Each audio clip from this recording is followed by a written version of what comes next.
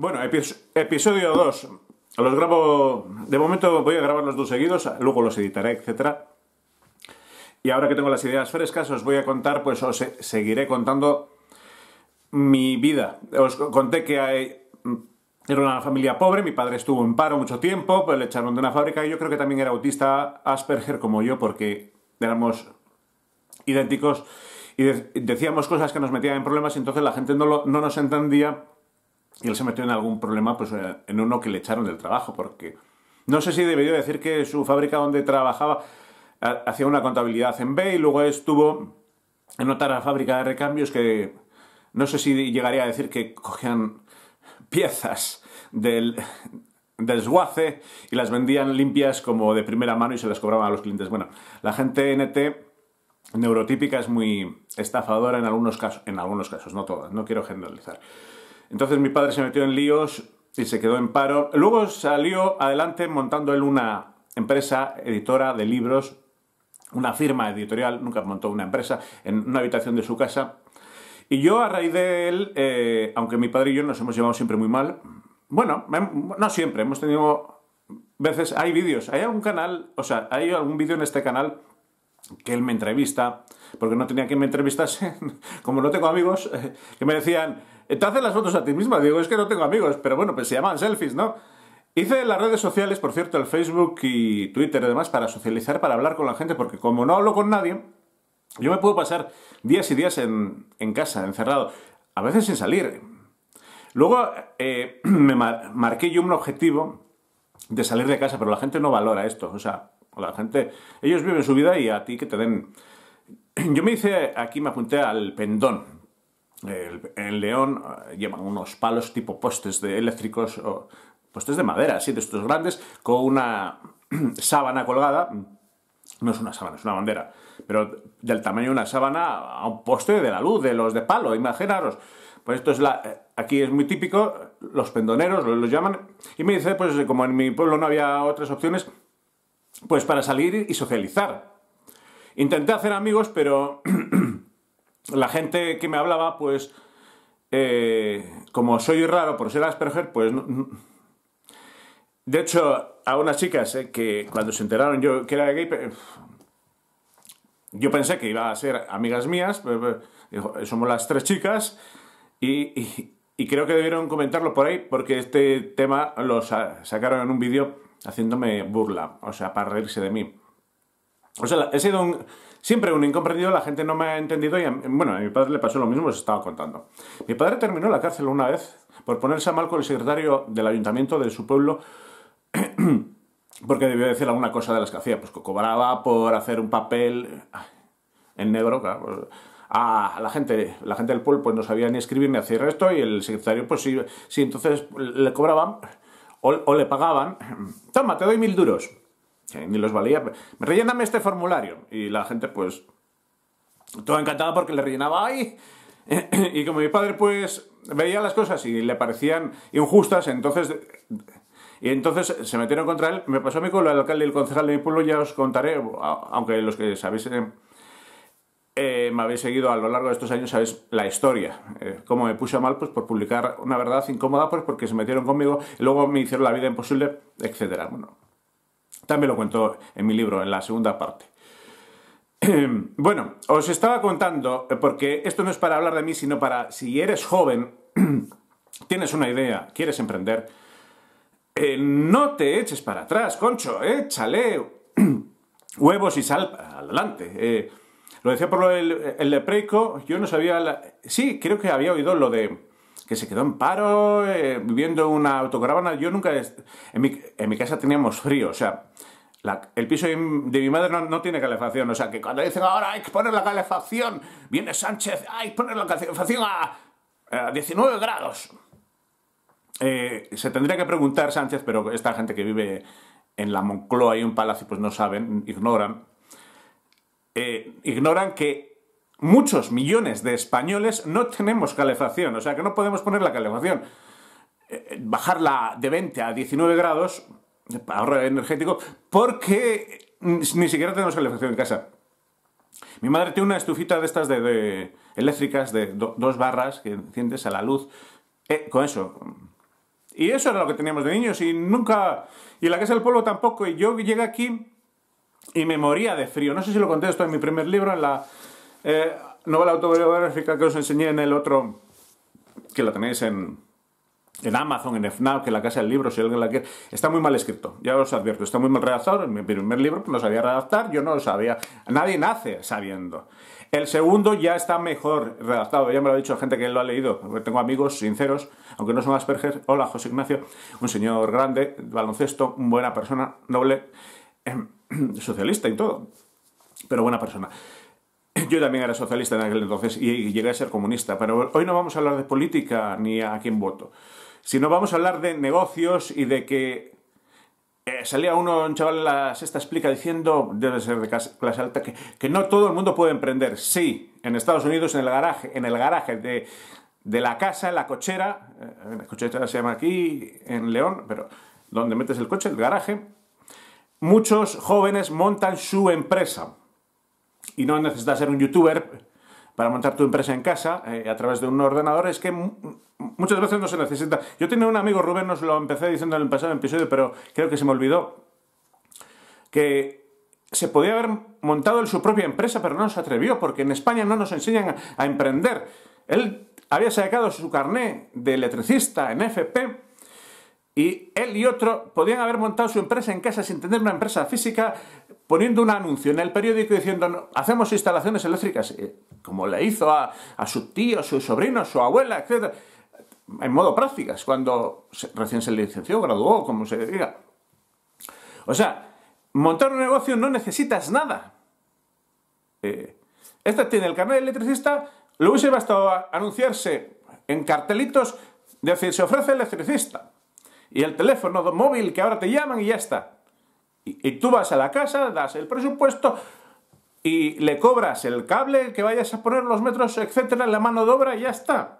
Eso es montar una empresa. Esto era montar una empresa fácil, pero el chaval este nunca se atrevió porque es más fácil que te contraten otro, que te lo monten otro y que... Pero hay gente que es que es sencillísimo. Coño, ¿sabes tú hacer chapuza, reforma, salir el, la, el chaval de la sexta explica? Pues es que no necesitas tener un local, ni un garaje siquiera.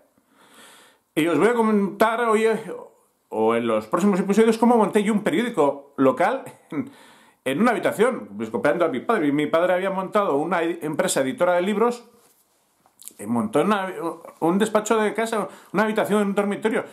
Tenía el piso tres dormitorios, lo dejó en dos. El, uno, pues unas estanterías, una mesa, un escritorio y una silla y otra y una silla enfrente para recibir visitas. Cuando recibió visitas, alguien, un autor de un libro que quería publicar que a nadie le publicaba porque las empresas editoriales grandes pues solo publicaban autores famosos que sabían que iban a vender los libros. Y él no, no voy a decir que él inventó, porque luego esto lo he visto yo, mis libros son más o menos en autoedición, como Círculo Rojo, por cierto, no os recomiendo nunca, pero el maltrato que me dieron a mí pero bueno, me publiqué cinco libros con esa empresa editorial que después de publicar cinco libros y dejarles un millón de pesetas, una, la que era editora mía, me insultó y me, me mandó al abogado diciendo que casi me, trató de ladrón. Porque, porque le dije, razonamiento Asperger, dije, estaba haciendo dos libros a la vez, dos libros. Estaba haciendo el de, no sé si el de Omicron y la segunda parte de mi autobiografía a la vez. Con unas pocas semanas de diferencia. O sea, yo publiqué eh, un tiempo desde la pandemia que publiqué cinco libros. Pues llevaba dos libros a la vez y como te cobraban gastos de, transferencia bancarios, el banco para hacer una transferencia me cobraba un gasto, le, dije yo a la editora, le dije, espera una semana y te pago los dos libros juntos. Yo esto para una persona, los autistas, me parece un razonamiento lógico. La gente neurotípica, no, esta, chica no lo entendió. Le dije, te pago los dos libros juntos y así pago una transferencia al banco. Me dijo, ¿no puedes hacerlo? No puedes hacerlo. Y dije, bueno, pues igual es que no se fía eh, y no me espera una semana. Ya llevaba tres libros antes y pagados todos. Bueno, pues le dije, te lo pago por adelantado. Y le pagué, le pagué dos libros por adelantado. La, mujer neurotípica tonta. Tonta, tonta. O sea, le pago dos libros por adelantado y me dice, me has pagado de más. Y me devolvió una parte. Lógicamente, unas semanas después me reclamó el pago del, del segundo libro. Le dije, ¿ves? Pareces tonta. Te he pagado los dos libros juntos y me has devuelto una parte. Y ahora me haces gastarme otro gasto de transferencia de domiciliación. Para la gente pobre, pues cualquier pequeño gasto, yo qué sé que te cobra, si te cobran 10 o 3 euros, me da igual. Yo he ido al Carrefour por, a, gastar un bono de 3 euros. 3 euros para mí es mucho. Son 500 pesetas de las de antes.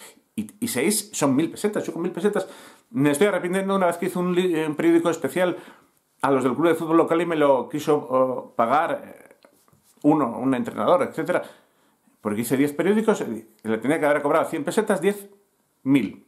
10%, 1000. Y por quedar, bueno, no, no me debes nada, no me debes nada, pues no, no cobré nada y trabajé gratis.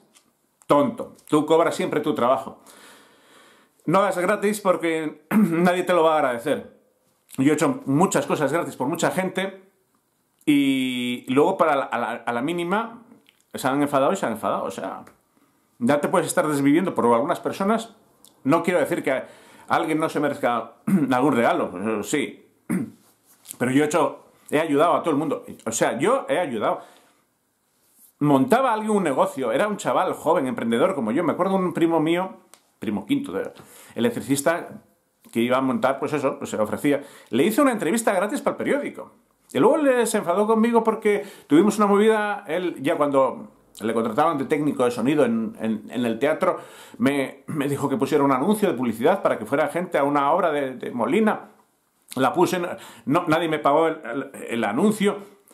Eh, le critiqué yo una cosa que organizaba él, se enfadó conmigo y, y me echó del teatro una vez en una cosa con el Langui, le puso a mal al Langui, a Lolita Floris, eh, a Lolita Flores, sí, que había venido. Yo entraba a los camarines, le, pedí unas declaraciones, unas palabras, y no sé qué le dijo de mí, eh, que era, no sé qué le diría para que esas personas me odiesen y no quisieran hablar conmigo cuando habían hablado eh, con Canal 8 de televisión.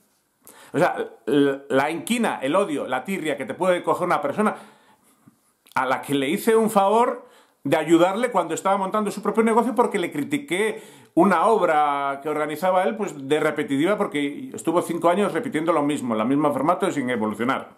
O sea, tú aconsejas a alguien, le ayudas, eh, haces algo gratis. Yo todas las entrevistas y reportajes que hacía a jóvenes emprendedores que iban a montar su negocio para que tuvieran clientes, para que tuvieran eh, repercusión social, porque el periódico mío eh, se veía en toda la ciudad de La Bañeza. Y yo entrevistaba a todos los jóvenes emprendedores gratis. Pues algunos sí, no voy a decir que ninguno, pero muy, muy pocos. Casi ninguno me, me lo ha agradecido. Ha habido, hay un empresario que sí, que lleva 10 años conmigo, que me lo ha devuelto con creces en publicidad contratándome un anuncio. Otro que sigue estando posicionado gracias a mi entrevista, la que le hice yo, porque no la ha entrevistado nadie más, está en lo alto. O sea, buscas el negocio de su empresa, la, está posicionado porque le hice yo la entrevista. O sea, yo le ayudé a montar su negocio y luego cuando le fui a pedir 20, 30 eurillos una vez al año, pues para que me ayudara con mi periódico, me dio con la puerta de las narices. O sea, este es el agradecimiento. O sea, no hagas nada gratis. Luego yo me enteré que el, el otro periódico, porque en la ciudad esta hay dos periódicos, el otro periódico local le cobraba 300 euros a la gente que le hacía el, el reportaje. O sea, yo lo hacía gratis yo, gratis, y luego criticado y terminaba mal con mucha gente, y el otro le cobraba 300 euros. O sea, si lo hubiese cobrado yo 300 euros, por lo menos me hubiese importado una mierda que, que luego la gente hubiese tenido ese desprecio conmigo. Bueno, hoy no iba a comentaros anécdotas de mi periódico local, pero bueno, ya habéis intuido que monté un propio periódico, o sea, esto es inimaginable. Una, una porque puedes montar con tu carnet de electricista una empresa de instalaciones eléctricas sin tener empresa y sin tener material, sin, sin comprar nada. No necesitas tener dinero para comprar eh, cable. Si no vas a poner cable, puedes comprar el cable que vas a necesitar para esa instalación cuando empiezas. O sea, no necesitas comprar y tener un almacén y tener... Yo conozco gente que empezó, pues eso, iba a una casa, le llamaron, pues un Hubo una chica que empezó de, pues, me ofrezco pues para cuidar niños, tenía, hizo gente de auxiliar de enfermería o para cuidar ancianos. eh, Ponía cartelitos, yo me acuerdo de hacer cartelitos de estos en papel que ponías el teléfono en tiras, se recortaba, arrancaba reformas, eh, me ofrezco, doy clases particulares. O sea, clases particulares, electricista, fontanero, chapuzas, cuidar niños, cuidar ancianos. ¿Veis? Son todo negocios que puedes montar de hoy a mañana con capital cero, sin tener local, sin alquilar. Mira, contradigo a, Bernardos, que el economista este, que, dice cosas muchas veces que estoy yo de acuerdo con él, igual la inmensa mayoría, pero el día este que dijo esto, no. Y yo creo que ya está hasta aquí el episodio de hoy, que me ha salido muy largo. No sé, no calculo, ¿eh? Lo hago así a ojo. Igual me sale ahora uno de 20 minutos eh, o, o 30, 40 y el otro me sale de 12, no sé. Bueno, pero os hago re- resumen. Episodio 1 os conté mi infancia, episodio 2 eh, os, he dado ideas de cómo eh, ser jóvenes emprendedores. Y os he dicho que yo, mm, sin medios, sin recursos, sin nada, con familia pobre, sin, sin apoyo familiar, monté de la nada, de cero, un periódico local. Y de esto vamos a hablar en el, en el próximo episodio, cómo creé un periódico de cero y por qué. Por cierto, periódico que lleva 25 años. Muy buenos días.